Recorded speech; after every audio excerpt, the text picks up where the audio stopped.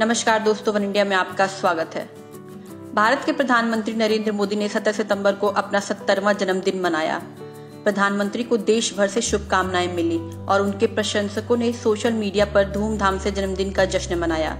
कई भारतीय क्रिकेटरों ने भी सोशल मीडिया के ज़रिए प्रधानमंत्री को जन्मदिन की शुभकामनाएँ दी। भारतीय कप्तान विराट कोहली ने बेहतरीन अंदाज में पीएम मोदी को जन्मदिन की बधाई दी, जबकि महान बल्लेबाज सचिन तेंदुलकर ने पीएम के साथ फ़ोटो शेयर किया।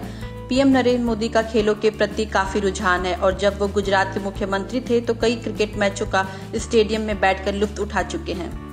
मोदी ने ट्विटर पर लगभग सभी क्रिकेटरों के बधाई संदेश का जवाब दिया। लेकिन भारतीय कप्तान विराट कोहली को उन्होंने जो जवाब दिया, उसने सभी का ध्यान अपनी ओर खींचा है।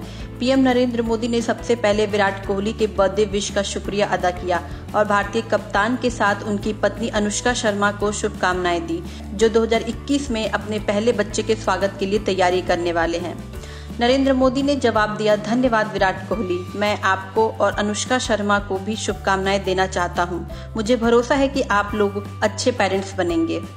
बता दें, विराट कोहली और अनुष्का शर्मा ने 2017 में इटली में शादी की थी और इसके बाद दिल्ली में एक ग्रैंड रिसेप्शन रखा था, जिसमें प्रधानमंत्री नरेंद्र मोदी ने अपनी उपस्थिति दर्ज कराकर समारोह की चमक बढ़ाई थी।